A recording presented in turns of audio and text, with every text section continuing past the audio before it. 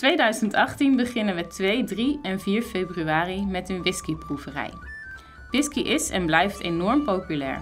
Ze zijn er in vele soorten en stijlen. We zullen acht verschillende whiskies serveren, waarbij we op zoek gaan naar uitzonderlijke flessen van verschillende herkomsten. Zou u zelf eens een proeverij verzorgd willen hebben? Thuis, op het werk, in proeflokaal De Zes Vaatjes, tijdens een feestelijk evenement of waar dan ook op een locatie buiten deze datumzon? Neem dan gerust contact met ons op. Meer informatie vind je op onze websites. Op de hoogte blijven van onze activiteiten? Like onze Facebookpagina's. Neem de tijd om te genieten en wees welkom.